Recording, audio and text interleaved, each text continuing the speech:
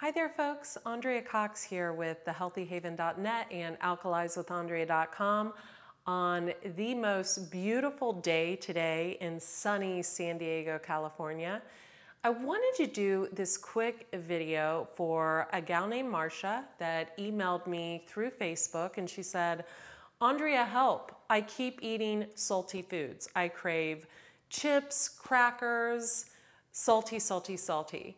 And um, so I have a few tips for her. I'm going to give you my top five tips for when you crave those salty, uh, more savory, crunchy things. Uh, tip number one would be to go with something like sea vegetables. Anything like here I have dulse.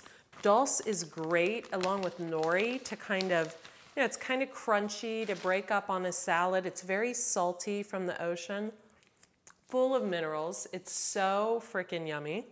I'm gonna stick a piece in my mouth. I better take that out for the rest of the video.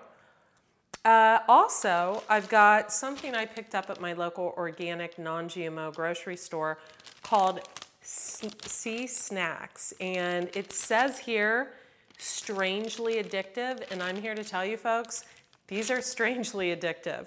These are salted. They are not raw. They are actually dried, um, but all they are is seaweed, a little bit of olive oil, and granulated sea salt. And this is onion flavor, so it's got a little dried onion sprinkled on, and this is snack flavor, um, just plain flavor. Uh, so those are two things. So that's tip number one. Tip number two would be to, you know, make yourself some kale chips kale, a little bit of coconut aminos, a little bit of sun-dried sea salt on there, massage it in, lemon juice, stick it in a dehydrator. If you don't have a dehydrator, you can definitely just stick them on a plate out in the sun and they'll get all crispy for you. It's another great tip. Tip number three would be to check out some of the fabulous raw, vegan, crunchy little snacks they have on the market today. There's a plethora of them and they each offer a different kind of taste, so you might want to go with that. Tip number four, go within. A lot of times when we crave salty or savory, we crave, this is Chinese, they say this, we crave our father's love.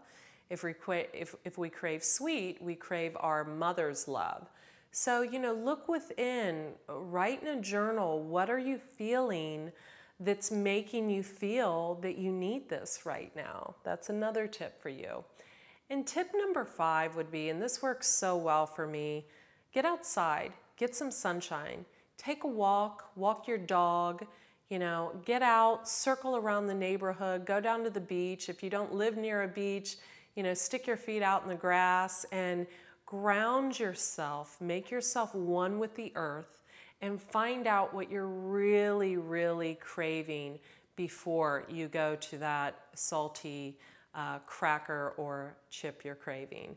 And hey, you know what? If worst case scenario, if you do go for those things that you know aren't, you know, for your highest good, forgive yourself and the next time do better. Andrea Cox here. I hope you liked this video, and if you did, hey, hit the like button and subscribe. I show you how to replace your salty snacks with healthy ones. Be well.